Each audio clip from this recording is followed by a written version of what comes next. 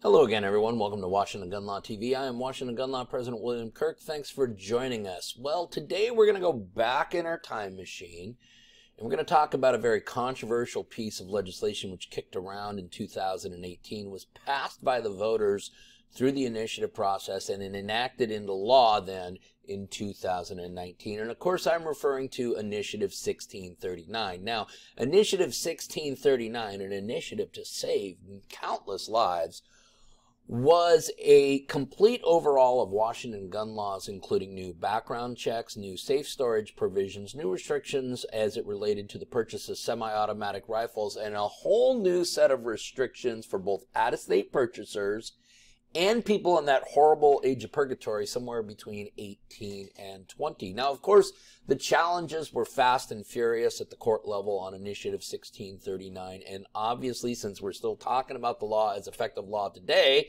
we know how effective those challenges were. But you see, the problem was, is all of those challenges were ruled upon an old rule of law, which has now been soundly rejected and has kind of reopened Pandora's box here for a whole slew of new challenges to Initiative 1639. So today we're going to spend a few minutes and talk about how the challenges to Initiative 1639 are getting a do-over.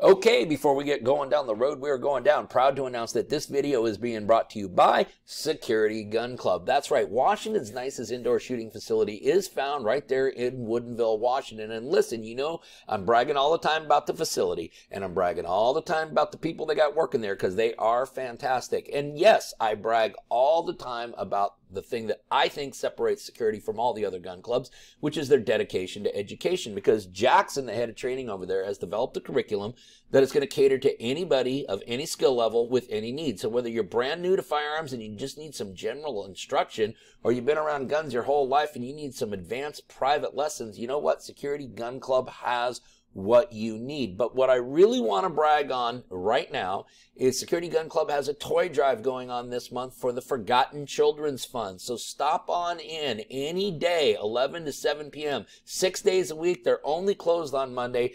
Drop a toy off for the kids for the Forgotten Children's Fund or make a donation. For more information, visit them at securitegunclub.com. Now that is securite with an E, not a mess print, securitegunclub.com.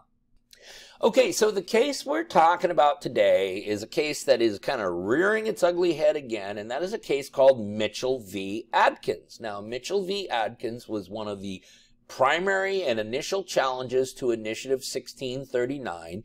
And what happened in that is, is that uh, Initiative 1639 and all the legislative schemes that had come from it was challenged on essentially two grounds. One of the grounds was is that this prohibition against 18, 19, and 20 year olds being able to purchase semi-automatic rifles was in fact in violation of both their Second Amendment rights as well as their Article 1, Section 24 rights as guaranteed under the Washington State Constitution. The second argument was is that the prohibition on out-of-state residents being able to come into the state of Washington and purchase semi-automatic rifles was a violation of the constitutional protections on interstate commerce. Now, we know that Initiative 1639 is good law. We know that all of the things that came from Initiative 1639 still exist in RCW 9.41. So you don't really need a lawyer to explain to you how successful the challenges in Mitchell v. Atkins initially were. However, when we go back and we look at how that court rejected all of the plaintiff's arguments, one of the things was, of course, what rule of law do we apply when analyzing restrictive gun measures? That is, do we apply a strict scrutiny analysis where we look at that activity and determine whether it is or is not protected by the plain language and historical context of the Second Amendment? Or do we then go beyond that and start doing a balancing test between the individual right which is being infringed upon and the need of society to have that infringement occur for the benefit of the whole? Well, hot off the press, December 2nd, the United States Court of Appeals, Ninth Circuit, has vacated, that's right, they have vacated their initial ruling in Mitchell v. Atkins, which of course found that all of Washington's restrictions under Initiative 1639 were totally okay, completely constitutional. Why? Well, because they had applied that intermediate scrutiny test, a test that we now know no longer exists. New York Pistol and Rifle Association v. Bruen and Justice Thomas made that very clear. But when we go back and we look at the holdings of Mitchell v. Atkins and what the court said about what the standard of review is, the court previously stated intermediate scrutiny applies if the law either does not implicate the core Second Amendment right or does not place a severe burden on that right. Where a law carves out exceptions to its regulation of the core Second Amendment right, it may alleviate the impact so as to render any burden insubstantial. Unsurprisingly, intermediate scrutiny is appropriate here. The age provision does not implicate the core Second Amendment right to defend one's home because it does not restrict the ability of 18 to 20 year olds to purchase long guns that are not semi automatic. The age provision also contains multiple exceptions allowing 18 to 20 year olds to possess semi automatic rifles in several places and situations, including in their homes for self defense.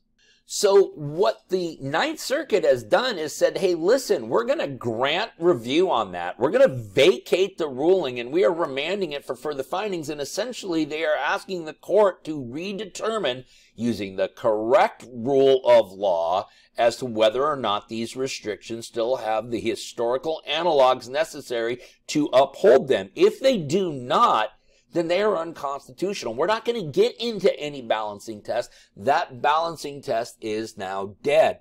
So the case once again is Mitchell v. Atkins. It's in the Ninth Circuit. It has been GVR'd, which means they have granted review, they have vacated the ruling, they have remanded it to the lower court for further findings. It's a polite way of the higher court telling the lower court, hey, listen, I'm going to give you a chance to fix it so that we don't have to. If you have any more questions, about this case or anything else related to your Second Amendment rights, remember, you can always contact us at WashingtonGunLaw.com, or of course, you can call us directly at 425 765 0487. Now, let's remember, part of being a lawful and responsible gun owner, like we talk about all the time here at Washington Gun Law, is to know what the law is in every situation and how it applies to you in any instance that you may find yourself.